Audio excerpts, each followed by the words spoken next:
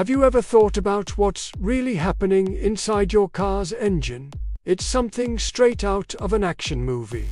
Let's talk about the fuel you put in your tank. A gallon of gasoline contains an incredible amount of energy. How much? Well, let's compare it to something we all know is powerful dynamite. Believe it or not, a gallon of gasoline packs about 100 times more energy than the same weight of dynamite. That's insane, right? So why doesn't your car just explode every time you start it? It's all about control.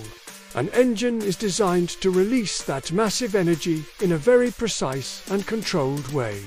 Through thousands of tiny, rapid explosions that push the pistons and turn the wheels. So, the next time you're cruising down the road, remember you're literally riding on a controlled chain reaction of immense power. It's a marvel of engineering. If you found that interesting, hit that subscribe button for more cool facts. Thanks for watching.